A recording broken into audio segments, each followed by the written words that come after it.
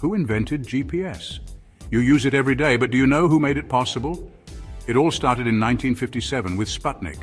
Scientists tracked its radio signals, sparking the idea for space-based navigation. Before GPS, there was Transit, a satellite system built in the 1960s to guide nuclear submarines. Then came Navstar GPS, a top-secret US military project leading the charge, Dr. Bradford Parkinson, the father of GPS. But he wasn't alone. Roger L. Easton pioneered satellite tracking, and Dr. Ivan Getting helped turn GPS into a working reality. For Dr. Gladys West, recognition took decades. In 1956, she worked at the Naval Weapons Lab, crunching satellite data to improve GPS accuracy. Her calculations shaped the GPS we rely on today, but for years her role went unrecognized.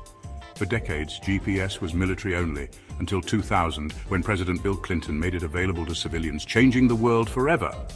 Now GPS does way more than just get you home. It tracks whales, improves farming, and even helps you find the best fishing spots.